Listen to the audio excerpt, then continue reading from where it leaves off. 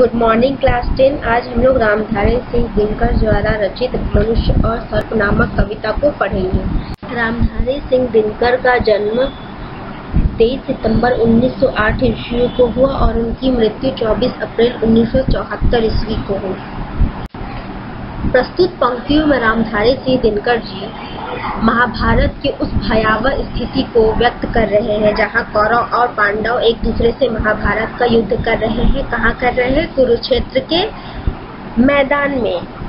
तो यहाँ वह बोल रहे हैं कि कैसे अर्जुन और कर्ण दोनों ही कुंती पुत्र थे, दोनों ही एक ही माता के पुत्र थे और दोनों भाई थे, लेकिन अर्जुन पांडवों के तरफ़ से थे और जो कर्ण थे, वह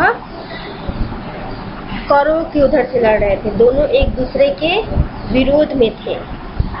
तो यहाँ पे वो बोला जा रहा है कि गत्वर गैरे सुधर भूदर से लिए रक्त रंजित शरीर। तो यहाँ पे बोला जा रहा है कि जो शेष नाग है शेष नाग को हमारे धर्म में बोला जाए कि वो पाताल रूप में रहते हैं और वही हमारे पृथ्वी की रक्षा किए हुए हैं। और गस्वर मतलब होता है तीव्र गति से, गौरेय मतलब होता है कि काल। तो यहाँ पे अब बुधर मतलब होता है कि पृथ्वी को धारण करने वाले भगवान शेषनाग। तो यहाँ बोला जा रहा है कि काल और पृथ्वी को धारण करने वाले भगवान शेषनाग खून से सने हुए शरीरों को मानो बलपूर्वक तेज़ी से छीनकर लिए जा रहे हो, उनको लेकर जा रहे हो।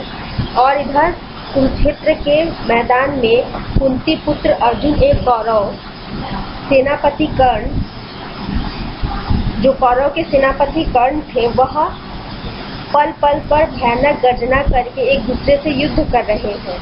दोनों ही, यानी कि अर्जुन और कर्ण, धनुष चलाने की कला में रण कुशल सब चीज़ में बहुत ही समान है।